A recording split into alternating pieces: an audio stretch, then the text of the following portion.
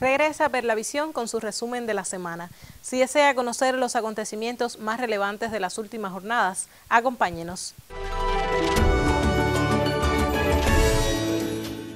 El Día Internacional de Lucha contra la Homofobia, la Transfobia y la Bifobia encuentra múltiples adeptos en todo el orbe. En Cienfuegos, la recién inaugurada Casa de la Música de Legrén acogió la gala central que celebra esta fecha. El encendido de linternas durante un minuto de silencio devino el homenaje a las víctimas del accidente del Hotel Saratoga. Fue el comienzo de una acción cultural educativa y de reflexión. Un esfuerzo más para sensibilizar y desterrar actitudes discriminatorias hacia personas con orientación sexual diferente. Una cita que contó con la presencia de autoridades políticas y convocó a grupos integrados por lesbianas, gays, transgéneros, transexuales, bisexuales, intersexuales y queer, identificados con las siglas LGTBIQ+, que sugiere comunidad en crecimiento una gala que tiene artistas aficionados que son eh, miembros de la red Trans Cuba, pareja, o sea que es la red que agrupa a las chicas trans, parejas y familias, y a artistas de, de cultura que se han sumado también a estar celebrando este día nuestro. Los asistentes pudieron disfrutar el espectáculo en un espacio renovado y con servicio de excelencia, sitio que desde ahora acogerá la fiesta de la diversidad en noches de jueves demostración de que la convivencia armónica entre personas con orientación sexual diferente es posible. Todas las actividades que estuvimos desarrollando hasta hoy fueron actividades que estuvieron encaminadas a la parte académica, o sea, con, la Facultad de Ciencias Médicas, con el Pedagógico, o sea, donde llevamos nuestros testimonios como, como cubanos, como cubanos que somos, y estuvimos eh, presentando cómo queremos que sea esta Cuba inclusiva. Un llamado a la inclusión desde el arte, una vía sublime para unar voluntades en favor de la tolerancia y es que el respeto a la identidad de género es un derecho. No debe olvidarse que la patria, sin distinción, la hacemos todos. Durante la semana próxima se estarán realizando en Cienfuegos diversas acciones en organismos y entidades para celebrar el Día Nacional de la Defensa, así como el ejercicio Meteoro 2022. Del 1 de junio al 30 de noviembre, temporada ciclónica. Esta será otra temporada según los pronósticos, una temporada activa. Quiero recordar que una temporada es activa cuando el número total de ciclones con nombre es de superior a los 14. O sea, antes de hablar de una, lo que es una temporada activa, debo precisar cuándo estamos en presencia de una temporada normal. Una temporada normal, en cuanto a eh, actividad ciclónica, es aquella cuyo número de organismos nombrados es de 14.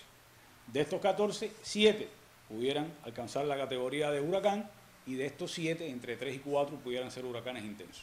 Eso es una temporada normal.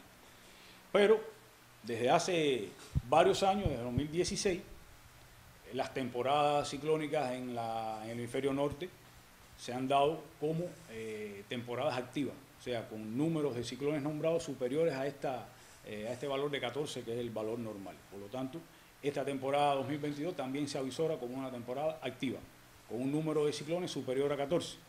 Varias escuelas eh, pronostican entre 17, 19, otras entre 20, 22, o sea que el número total de ciclones nombrados supera los 14. Por lo tanto, estamos hablando de una temporada, de una temporada ciclónica activa, donde también pudieran haber entre 7, entre 5 y 7 huracanes y entre 3 y 4 y quizás 5 huracanes intensos, categoría 3, 4 o 5 en la escala Saffir-Simpson. Ahora, ¿qué condiciones llevan a hacer ese pronóstico de una temporada activa nuevamente?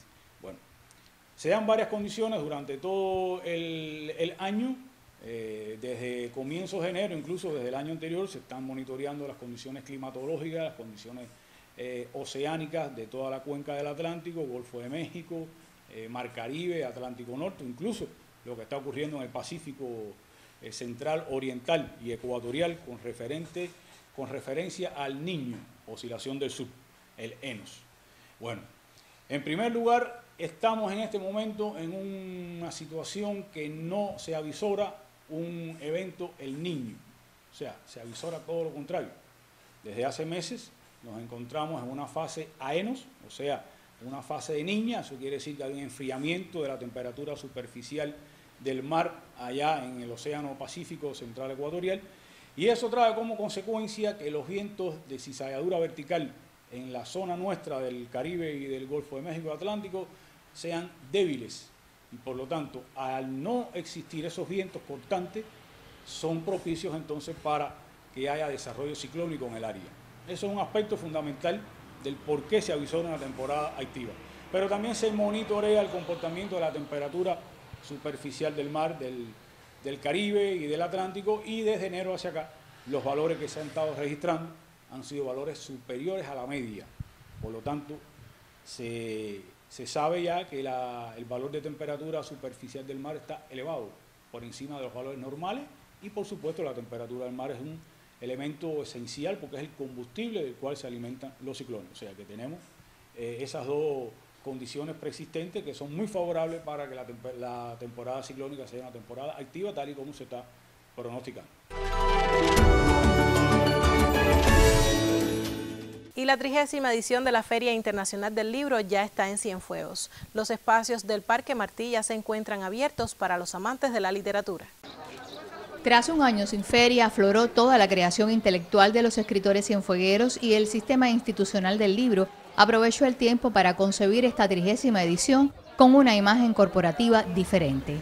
Una imagen integrada, coherente, articulada, una imagen que estuvo bajo la realización de Miguel Ángel Abuene, un artista por excelencia de acá de, nuestro territorio, miembro del UNIA, que la trabajó eh, eh, esmeradamente.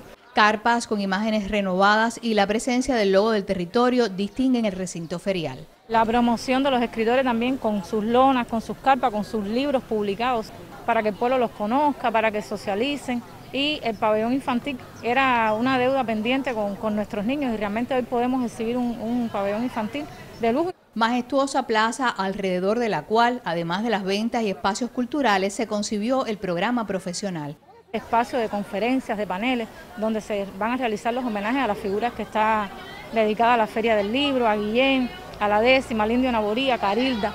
Recomendarle además a, a nuestro pueblo el programa Leer la Historia, un programa que sucede en los jardines del UNIAC con la conducción de Orlando García Martínez, presidente del UNIAC. Un espacio gestado en la feria del 2020 que ha permanecido mensualmente en la UNIAC como encuentro del gremio literario y ahora forma parte del programa de esta 30 edición de la Fiesta del Libro en la provincia. Vamos a estar llegando a los barrios, a los barrios más alejados, a los barrios vulnerables como una intención de gobierno. Más de 400 títulos, novedades literarias y la posibilidad de compartir con muchos de sus creadores es parte de esta fiesta que hasta el domingo reafirma en Cienfuegos que leer es crecer.